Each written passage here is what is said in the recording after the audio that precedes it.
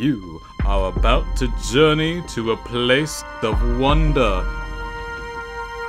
and excitement. With a few scares, of course.